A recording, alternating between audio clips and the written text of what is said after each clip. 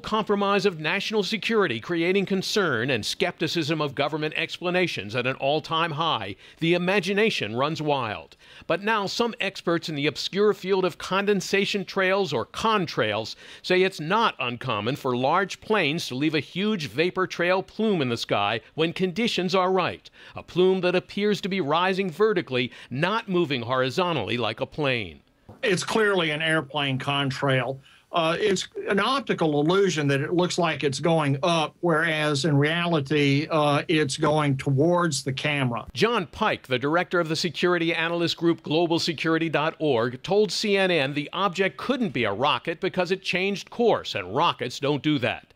The illusion, he says, is created by the plane heading toward the camera with the sun illuminating the vapor trail. Pike says he's shocked the military didn't just come out and explain that why the government is so badly organized that they're not able to get somebody out there to explain it and make this story goes go away. I think that's the real story. I mean, it's absolutely insane. In fact, Pike's explanation is backed up by the website Contrail Science, which showed this sunset still photo purportedly of a similar contrail which appeared to be a rocket plume on December 31, 2009, but was actually a plane flying over the area.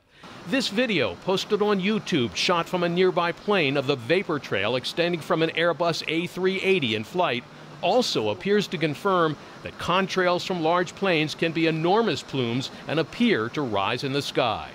On Monday's video, the apparent rising plume seems to be trailing from an aerial object that occasionally looks like a bright red light. A Pentagon spokesman told KNX Radio it hasn't ruled out an unauthorized launch of some kind or an airplane, but it has ruled out a number of other speculative scenarios. There was no military launch, either a scheduled or an inadvertent one.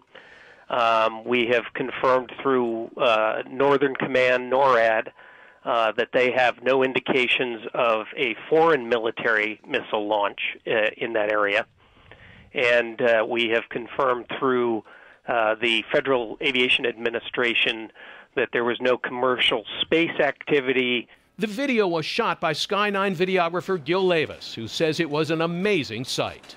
It's pretty spectacular. It was, it was like I said, it was growing in nature and it continued to grow up, fly up into the sky.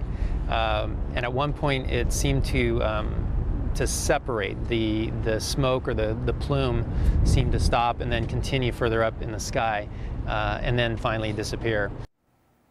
Bottom line here is we still don't know exactly what was producing the contrails. The federal government says it's not sure. You heard the Pentagon explanation. And everything everyone's been doing today is speculating. Lena?